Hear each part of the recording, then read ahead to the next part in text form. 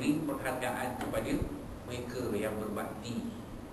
Ya yang apa ya ber, berkhidmat kepada kita pada agama pada bangsa pada negara. Ya, ya, tanpa mengira diri mereka sendiri kita beri kredit penghargaan yang sebaik-baik itulah dia adakan bila kita hari polis dia tahlil yasin tahlil. Pahala yasin tahlil tu kita nak hadiah pada ha, itu juga kalau ada hari-hari yang lain pun kan hari buka ke apa? Jadi buat yasin tahlil apa menghargai mereka yang dah pergi ni kerana hemat batin mereka itu tidak semua orang boleh buat. Boleh ke? Ha? saya pun kalau nak jadi macam Tuan Yusofi saya tak mampu. Jadi usai pukul 3 pagi telefon dapat. Saya dah diberitahu ada seorang kawan CS beritahu sama-sama dia kata masa tidur Ustaz saya letak dua benda key kanan saya. Satu handphone satu lagi set walkie-talkie je. Sebab apa? Pokok ada panggilan pukul 3 pagi. Tak tahu nanti tuan Yusuf ini pengalaman kan? tapi ni seorang bekas kutub peribadai beritahu saya Ustaz, saya kalau malam-malam masih hidup saya dulu saya letak dua benda tepi saya. Saya tepi antara isteri ni. Sini sebelah kanan saya handphone saya Sebelah kiri saya Kiri saya Isteri saya sebelah sana. La ilaha illallah Walkie-talkie tu dah jadi macam bini dua dua dua tiga pula. Tak cuma ke isteri Abang letak saya sebelah sana Antara abang dan saya ada walkie-talkie ya. Kan senang Kita boleh buat ke? Eh? Kadang-kadang kita macam ustaz ni Habis boleh Off handphone Handphone kena panggil Ni ada orang meninggal ni kena pergi ziarah kan? Sampai tak tentu Tak semua orang boleh buat seperti mereka ini eh? Sebab itulah mereka nanti di pada madihan pada masyar Pada hari kiamat ada tempat special untuk mereka Ya tu Ya Itu eh? Wallahualam Baik. Dalam satu riwayat lain Nabi SAW bersabda Inna lillah min khalqihi wujuhan khalaqahum li hawaijin nas yarghabuna fil akhirah. Semuanya kalangan makhluk Allah Subhanahu ada beberapa individu yang dijadikan untuk menunaikan hajat manusia ha, memang akan jadi memang ada manusia yang dijadikan untuk berbakti kepada manusia yang lain menjadi lilin membakar diri untuk diri lain memang ada tuan-tuan guru sekolah yang lupa guru sekolah tu kita boleh jaga 40 orang jaga anak-anak Pengasuh di rumah jaga lima orang pun kadang-kadang jadi berangin. Ada mudah mati Mati tetelan susu pun dah Baru jaga lima orang. Ni cikgu sekolah jaga empat puluh orang satu kelas ha? Seorang macam ni, seorang macam ni, seorang macam ni, seorang macam ni Betul tak? Sehingga dia jadi cikgu kan ha, Tahulah, saya pun tak pernah jadi cikgu Saya pernah jadi cikgu sekejap lah Dalam setahun, dua tahun ni ha. Kan senang nak jaga kan lagi-lagi kalau kita mengajar di sekolah kebangsaan, sekolah rendah. La ilaha illallah. Budak yang berak dalam keluar pun. Kita lah yang bawa pergi ke teteh kita yang masuk ke berak budak tu. La ilaha illallah. Bukan anak kita pun. Anak orang. Memang itulah dia. Kata Nabi SAW. Memang ada manusia yang berbakti kepada manusia yang lain. Memang begitu. wa ya'uduna al-juda mutjaran wallahu yuhibbu makarim al-akhlaq mereka itu menciptakan akhirat menganggap pemberian itu sebagai medan perniagaan so itulah dalam satu ayat Allah Ta'ala ayat ni memang saya ingat dan saya kalau jadi imam saya ada kena saya bawa ayat ni Eh, Allah Syaitan Rajim Ya iladina amanu Hal adulukum ala tijaratin Tunjikum min azabin alim Wahai orang beriman, maukah aku tunjukkan kepada kamu satu perniagaan yang akan menyelamatkan kamu daripada azab yang pedih. Apa dia? Tu'minuna billahi wa rasulihi. Pertama sekali beriman dengan Allah dan Rasul. Rasul. Itu semua orang boleh. Tapi yang kedua ni yang susah. Fi sabilillahi bi amwalikum wa anfusikum dan berjihad pada jalan Allah dengan diri kamu dan harta kamu boleh pun semua orang boleh ke semua orang buat macam Tuan Jokowi? Boleh ke semua orang buat? Ha, pukul 3 pagi dapat panggilan nak kata, nak mana bang ni orang mati kena mati tercekik dekat rumah tu. Rupanya makan tercekik makan derian rupanya. Biji derian. Mati tercekik pun eh, OCS kita pergi tengok. Ah, betul lah Tuan Jokowi? Ah, tercekik derian. demikian je Bukannya kena bunuh Mati sikit derian di rumah Tak ada dah pun tengok dah mati dah keren ha. Telefon ambulan Ambulan tak Tapi telefon ambulan Polis pun tak juga Betul boleh balik Dia tengok dia faham Oh Pak Mat dia Tadi elok-elok Sama rumah makan dengan tercutik Itu pun Ambulan datang tu Yang datang luar nak cek Nak pastikan dah mati ke Pak Mat ni Ke Pak Mat ni tipu ya. Polis pun main juga. Mati Mati mengejut Dikasih-kasihkan mati mengejut. Kadang-kadang memang Tapi Bila dah bumi Jadi benda lain Dah OCS kena beritahu juga. Jadi bukan senang jadi Bukan senang nak bagi orang Senang Masya Allah Begitu lah dia. So itulah Nabi SAW kata Sebab itulah dia wa tujahiduna fi sabilillah. Berjuang berjalan Allah waktu saya sebut kepada pegawai-pegawai anggota polis. So, kita boleh lah. Kerja tuan-tuan ini cik-cik ini perjuangan jihad berjalan Allah lalu dia. Iya Pak Ustaz. Dia ingat jihad yang angkat senjata eh, angkat senjata pergi lawan Israel perang tu itu dia ingat sebenarnya jihad di luar jadi cikgu di sekolah pun jihad Jihad. Mengajar anak-anak kita. Jihad tu.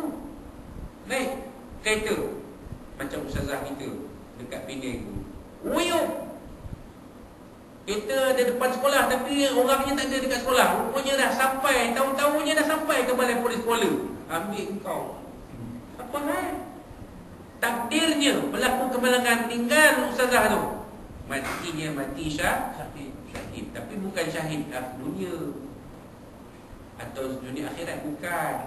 Kalau jenazahnya kita mandikan Kapankan, semayangkan, kemudikan Talqinkan, semua komplit Tapi nanti dia akan bangkit di Pada masyar Dengan pakaian dia yang berumur Kalau polis dengan uniform, uniform dia pakai Ada nombor lagi. Betul tak Macam kawan kita di tu kan Haa yang dibangkitkan tu Kalau pakai nombor Mana nombor Boleh kena nombor Eh? Oh, KP tengok Eh Tak ada apa KP sendiri pun tak tahu Macam mana bangkit dia. Tu Eh kamu pakai nombor Mana nombor Ada nombor lagi Nombor lagi. 8 8 1 2 3 Dah ha. Jadi Memang itu namanya syahid ah. Allah Allah. Kalau dapat macam tu dan semua orang boleh dapat kelebihan seperti itu. Ya tuan-tuan Baik.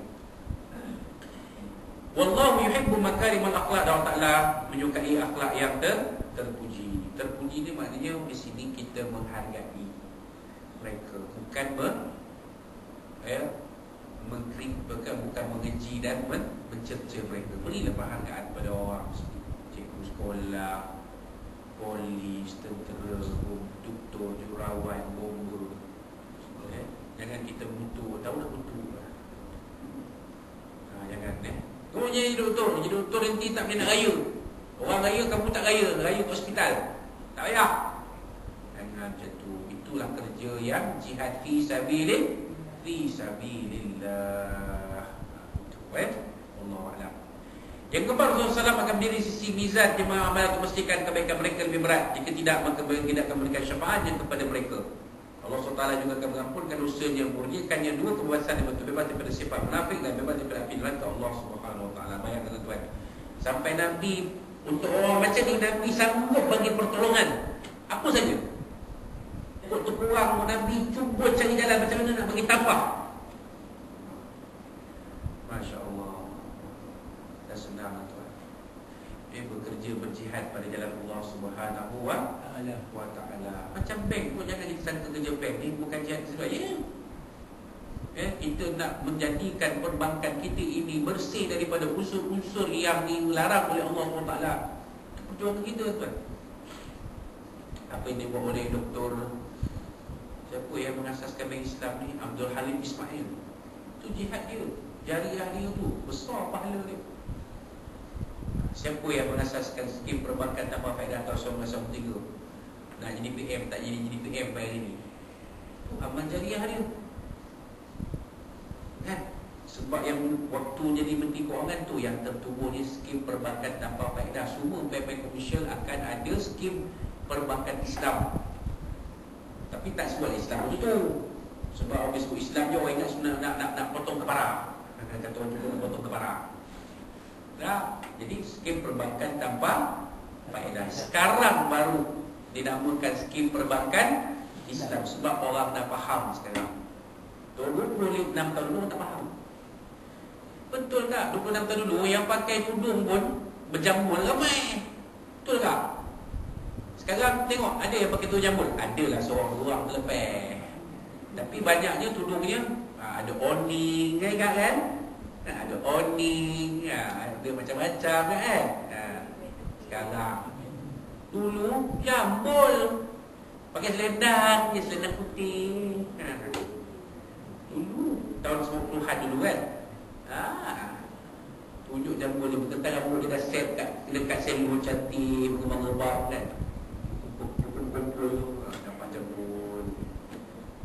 Kan. Hmm. Eh. Jadi itulah dia ya beberapa kelebihan yang kita sempat bicarakan ya pada pagi ini insyaallah pada bulan kita datang iaitu pada 3 Mac 2000 19 kita akan sambung dari surat 120 perkara kelima Allah SWT akan menolongnya daripada melepati titian asirat pada hari kami akan kata tergincir ya. Dan kita akan sambung daripada daripada situ ya. mudah-mudahan apa yang kita sempat kongsikan pada pagi ini ada manfaat kita bersama insyaAllah kita jadikan panduan kehidupan kita yang sementara ini ya dan kehidupan kita yang sementara ini dirahmati berkata dari Allah SWT dan kehidupan kita bersama suami isteri anak kita akan menjadi sebuah akhirat dan kalau ada mungkin sampaikan lebih kasar bahasa dan lebih sehingga semua malik Allah Ta'ala dari Nabi SAW dan dari tuan-tuan dan puan-puan sekalian ya. Allah Rasulullah wa fikum